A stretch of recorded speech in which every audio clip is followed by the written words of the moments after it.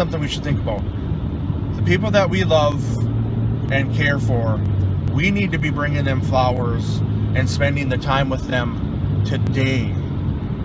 So let's segue into the rant part of it. All right. The other day, or a while back, my wife signs me up for this Wunderlist. She puts it on my phone. You know, and I I guess I didn't really think anything about it. Um, so last week, she, uh, sorry, there was a bald eagle up there. Uh, last week they had, uh, ah, crap. What was I saying? Distracted by a bald eagle. Oh, so anyway, so last week I was home by myself for a little bit, which is like our super rarity. And I was like, you know what? I remember her mentioning something about a list because she said, Did you check the list for the stuff that I asked you to do? And I was like, What list? And she's talking about this app she put on my phone a month ago.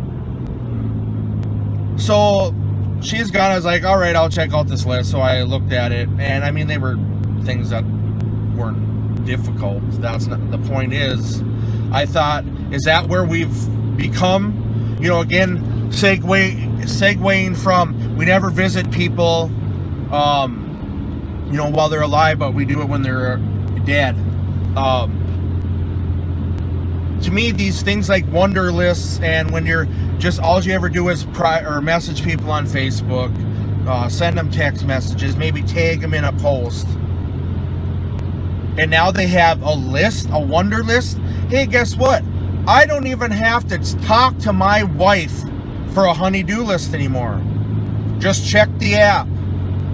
You know, so basically we don't need to have any form of human um, interaction whatsoever. We might as well be like that movie Surrogates, where everybody's just hooked up to a machine and live in some fantasy world, never talking to each other in person. With most people living their lives through their surrogate selves, our world has become a safer place.